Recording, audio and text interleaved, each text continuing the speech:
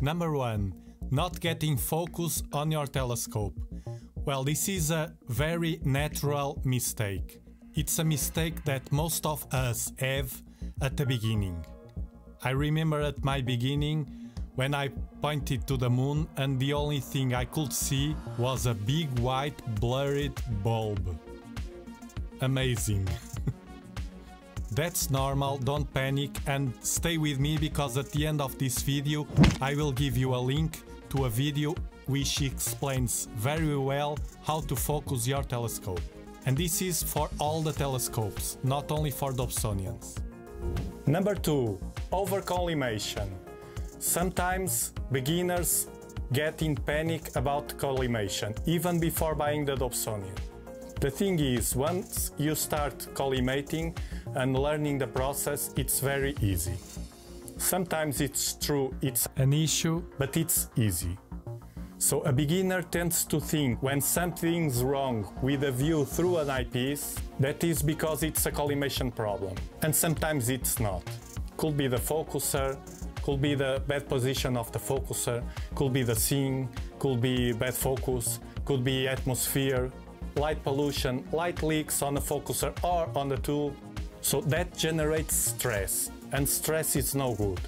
We want to have fun. Besides, you can start learning the collimation and have a decent collimation just to have fun with your telescope and you start learning the process until you get it. Once you get it, it's done.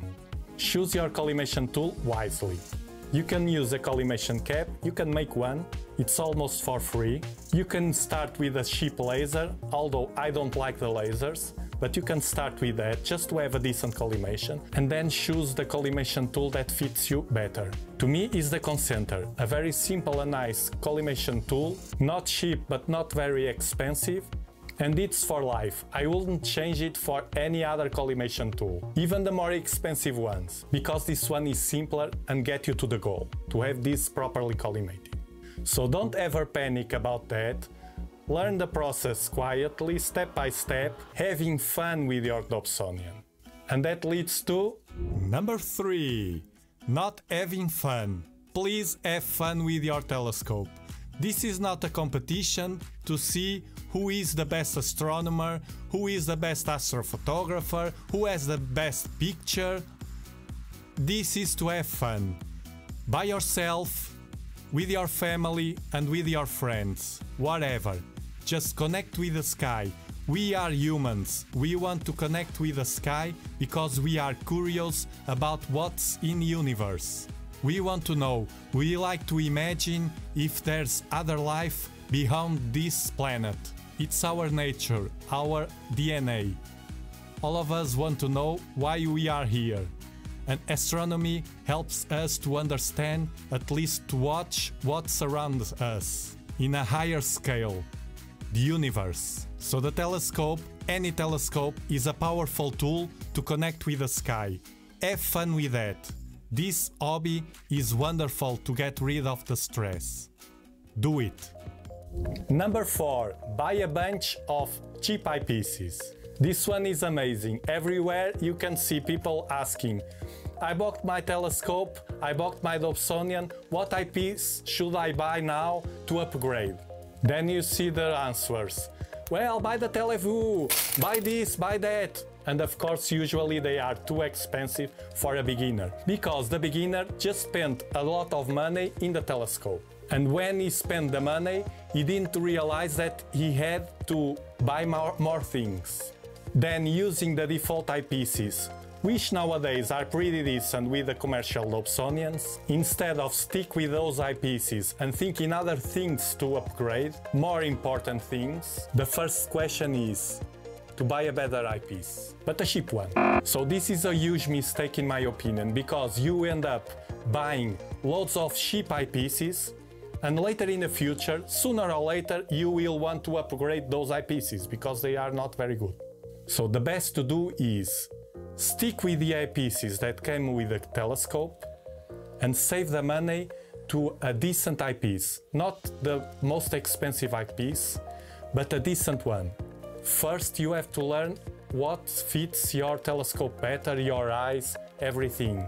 and then you will choose wisely at least a middle range eyepiece like Explore Scientific, the APM, etc. etc.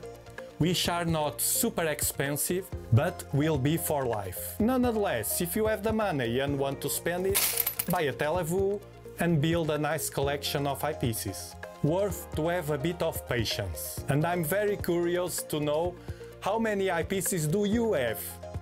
Put me in the comments, please. How many? Number 5. Expectations. Usually a beginner has high expectations. After seeing all over the internet very nice pictures with a telescope, a beginner buy a telescope thinking that will watch something like that or similar. The bad news are that it's not like that. You can only see without color in black or white, almost in black or white. Some faint colors you can see in certain objects, but generally no. In addition to that, the most part of the objects you will see like faint fuzzies, like a cotton ball, faint galaxies, faint nebula, and many nebulae you cannot see, especially if you have loads of light pollution in your observing site. Nonetheless, there are good news for you.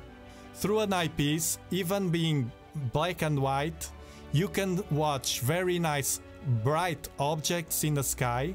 The planets are amazing using a Dobsonian telescope. Bright nebula like the Orion Nebula are great. The Moon, the Andromeda Galaxy, and also some other galaxies. It will depend in your sky. And my favorites, the globular star clusters. There's nothing more beautiful to watch through an eyepiece than a globular star cluster with a Dobsonian telescope. If you feel you're getting value from this video, give a thumbs up to spread it and help more people all over the world. Also doing imaging sessions, EAA electronically assisted astronomy or astrophotography, or both, the expectations usually are too high for the reality. You start to take pictures, but then you realize that you have to spend more money in gear to have mm, better pictures. in that matter, your goal shouldn't be take pictures like Hubble. Besides, to take very very nice pictures, you have not only to spend that money, but also to spend time in learning and also post-processing those images, those frames, to get a final nice image. You can do that, many people like it and many people do it.